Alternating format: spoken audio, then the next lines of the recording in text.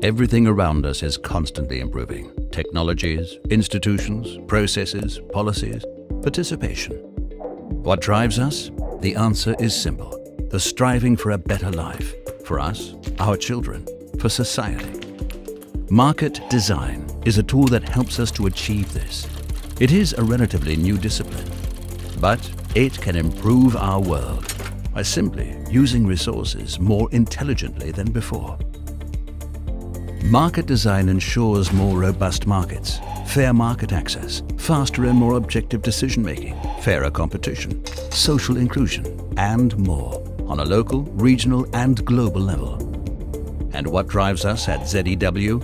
This very question. How can we live better in the future? Or in other words, who will design the car of the future? A physicist? An engineer? This is exactly how classic economic research relates to market design.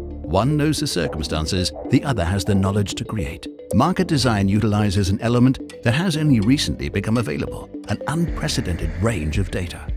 Rules are designed based on findings of behavioral economics. Laboratory and field experiments are used to explore different possibilities. Computer simulations shed light on the uncertain.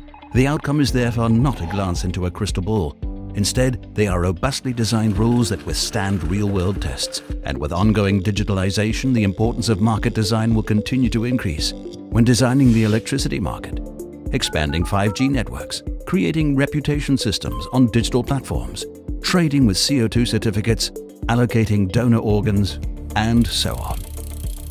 One example, Leipzig, May 2017. Approximately 450 parents queue up in front of a new daycare center to register for one of the 45 nursery school and 120 preschool places. Even the police had to intervene to avoid escalation. In Germany, the allocation of childcare places in daycare centers has been problematic for quite some time. The lack of a centralized admission system causes a substantial administrative burden for the individual daycare centers. The parents suffer from uncertainty, causing stress for themselves and their children. Market design was able to help here and can do so in other cases as well. First, the existing allocation practice was analyzed. Which solutions are already working? Are the needs of the parents and children taken into account? Which social criteria of the municipalities are considered in the allocation process? Subsequently, a new centralized procedure based on the Gale-Shapley algorithm was developed. Step 1. Parents indicate their preferred daycare center and a ranking of alternative centers when applying. For example, selection criteria can be the proximity to home and the care concept. Step 2. The daycare centers in turn establish a prioritized list of criteria such as age and group size. The social integration standards of the municipalities are also considered. For example, the guarantee that siblings are accepted to the same center.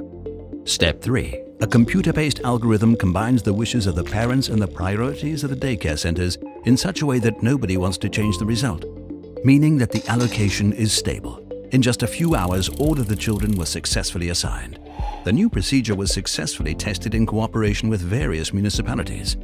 The evaluation resulted in a seven-point plan, serving as a blueprint for better childcare and happier parents and children. The interdisciplinary approach of market design lies in the DNA of our institute. ZEW, the Leibniz Center for European Economic Research, a member of the Leibniz Association, is one of the leading institutes for market design in Europe, thereby helping to shape a world worth living in.